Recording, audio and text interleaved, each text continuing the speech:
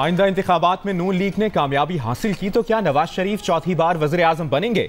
Million dollar सवाल सामने आ गया। जंग के एडिटर इन्वेस्टिगेशन अंसार अब्बासी की रिपोर्ट के मुताबिक, नवाज़ शरीफ ने आइंदा इंतबात में अपनी जमात की कामयाबी की सूरत में चौथी मरतबा वजर आज़म बनने का अब तक फैसला नहीं किया। लेकिन पार्टी चाहती है कि नवाज़ शरीफ चौथी मरतबा भी वजर आज़म का अहदा संभालें, और इसीलिए पार्टी ने नवाज़ शरीफ को चौथी मरतबा वजर आज़म बनाने का स्लोगन अपनाया है। जराये के मुताबिक। पार्टी नवाज़ शरीफ को चौथी मरतबा वजर अजम बनाएगी और फिर ये उन पर मुनहसर होगा कि कब वो इस्तीफा देकर किसी और को चीफ एग्जेक्टिव नामजद करें। ये ऐसे लोगों के खिलाफ शाइस्ता इंतकाम होगा जिन्होंने नवाज़ शरीफ को 2017 में वजारत उजमा के अहदे से हटाया था।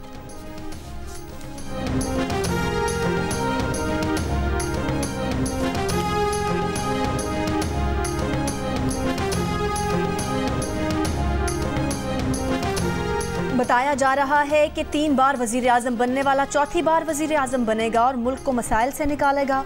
Chairman peoples party, Bilawal Bhutto Zardari का कोयटा में बलोचिस्तान हाईकोर्ट बार में खिताब। कहा कि अगर हमें मौका मिला तो बलोचिस्तान के आवाम की खिदमत करेंगे। बलोचिस्तान के आवाम से कहता हूँ कि नफरत और तकसीम की सियासत करने वालों को मुस्तरद कर दें।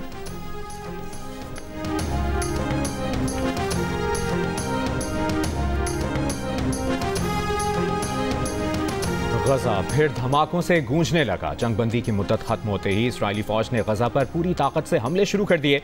लड़ाका तैयारों की गजा के शिमाल से जनूब तक मुख्तलिफ़ इलाकों पर बमबारी। टैंकों से भी गोले बरसाए जा रहे हैं। घरों को निशाना बनाए जाने से कम से कम छह फलस्तीनी शहीद। शिमाली गजा में फलस्तीनी मजामतकारों और इसराइली फौज में शदीद झड़पें। गजा में सात रोजा जंगबंदी का आगाज़ 24 नवंबर से हुआ था, जिसमें दो मरतबा तोसी भी की गई।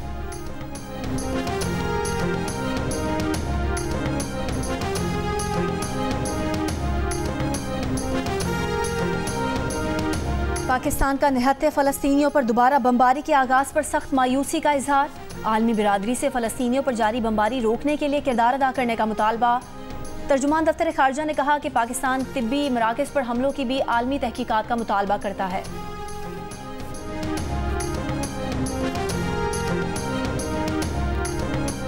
आईएमएफ के मुताबिक 30 जून 2024 तक पाकिस्तान पर कर्ज का बोझ 820 खरब रुपए हो जाएगा। रवा माली साल के दौरान कर्ज में 118 खरब रुपए तक इजाफा मुतव रवा माली साल के लिए मालियाती खसारा बयासी खरब रुपए से ज़्यादा बढ़ जाएगा, जो जी टी पी के सात आशारिया आठ फ़ीसद के बराबर है।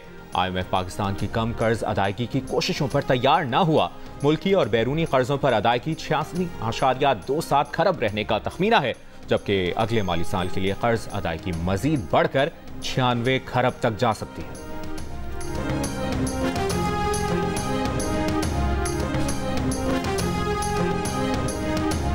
मुल्क भर में कौमी असम्बली की छह नशस्तें कम हो गईं। पंजाब में जनरल असम्बली की सात नशस्तें कम, फाटा और के पी के इंजमाम से दो नशस्तों की कमी। बलोचिस्तान में दो और विफाक में एक नशस्त का इजाफा। सिंध की नशस्तें बरकरार। इलेक्शन कमीशन ने हतमी हल्का बंदियों की इशात कर दी। पंजाब में कौमी असम्बली की एक सौ इकतालीस, सूबाई असम्बली की दो सौ सतानवे जर्नल नशस्तें होंगी। सिंध में इकसठ कौमी और एक सौ तीस सूबाई जर्नल नशस्तें। खैबर पख्तूनख्वा में पैंतालीस और एक सौ पंद्रह जानल नशस्तें होंगी।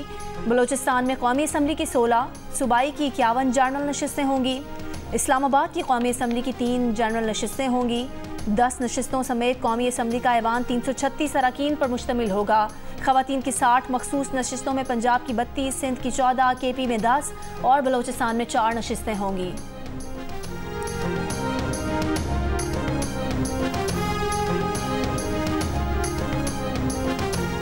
चेयरमैन पीटीआई और शाह महमूद कुरैशी के खिलाफ साइफर केस के जेल ट्रायल का नोटिफिकेशन अदालत में पेश। समात कल अटियाला जेल में होगी। जुडिशल कॉम्प्लेक्स में ऑफिशियल सीक्रेट एक्ट अदालत में आज समाज शुरू होने पर पीटीआई वकला मुलजमान को अदालत लाने पर इसरार और जज नोटिफिकेशन का इंतज़ार करते रहे। चेयरमैन पीटीआई की बहन अलीमा खान ने रोस्ट्रम पर आकर कहा, नोटिफिकेशन कब आएगा? वक्फे के बाद जेल ट्रायल का नोटिफिकेशन अदालत पहुँचा तो प्रोडक्शन से मुतालिक दरखास्त निपटा दी गई। जज अबुल हसनात ने कहा कि चेयरमैन पीटीआई की प्रोडक्शन का मसला है। कल तारीख देंगे। दरखास्त आप कल अडियाला जेल में दे दीजिएगा। चेयरमैन पीटीआई ने जेल ट्रायल के हुक्मनामे के खिलाफ दरखास्त दायर कर दी। पेशी के हुक्मनामे पर अमल दरामद की सदा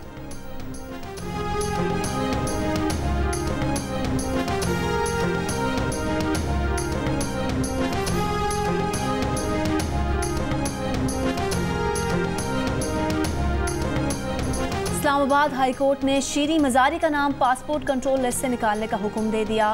डीजी इमिग्रेशन को एक हफ़्ते में पीसीएल से शीरी मजारी का नाम निकाल कर रिपोर्ट करने की हिदायत। इस्लामाबाद हाईकोर्ट के जस्टिस तारिक महमूद जहांगीरी ने महफूज फैसला सुनाया। इस्लामाबाद पुलिस की सिफारिश पर शीरी मजारी का नाम पीसीएल लिस्ट में शामिल किया गया था।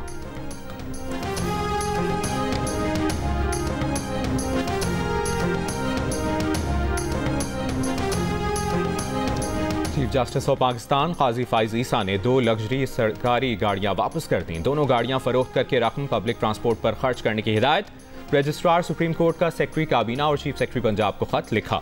चीफ जस्टिस के इल्म में आया कि सुप्रीम कोर्ट ने चीफ जस्टिस के लिए सितंबर 2020 में लग्जरी कार खरीदी, जिसकी मालियत 6 करोड़ 10 लाख रुपए है। एक बिल्कुल नई बुलेट प्रूफ लग्जरी गाड़ी भी हुकूमत पंजाब ने दी। चीफ जस्टिस काजी फाइजीसा ने ये लग्जरी गाड़ियाँ इस्तेमाल वो नहीं कर रहे। कीमती इंपोर्टेड गाड़ियाँ कौमी खजाने पर गैर मुनासिब बोझ हैं, ये उन्होंने कहा। हुकूमत का पेट्रोल की कीमत बरकरार रखने का फैसला। डीजल की कीमत में सात रुपए फ़ी लीटर और मिट्टी के तेल की कीमत में तीन रुपए बयासी पैसे फ़ी लीटर कमी की मंजूरी। लाइट डीजल की कीमत में भी चार रुपए बावन पैसे फ़ी लीटर कमी की मंजूरी।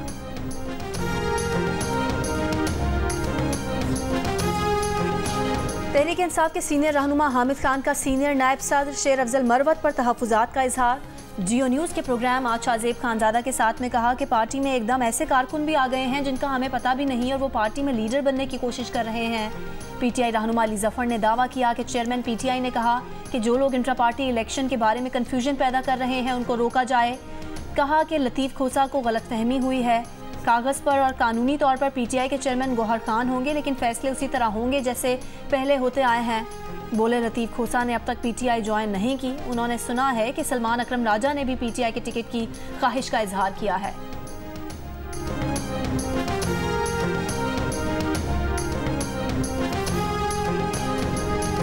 पाकिस्तान क्रिकेट टीम ऑस्ट्रेलिया में सिडनी शहर से कैनबरा पहुँच गई। तीन दिसंबर से ट्रेनिंग का आगाज़ करेगी। पाकिस्तान क्रिकेट टीम 6 दिसंबर तक चार रोजा मैच खेलेगी। तीन मैचेस की सीरीज़ का पहला टेस्ट 14 दिसंबर से पर्थ में होगा। पाकिस्तानी क्रिकेट स्क्वाड 5 दिसंबर को ऑस्ट्रेलियन वज़ीर की दावत पर उनसे मिलने जाएगा।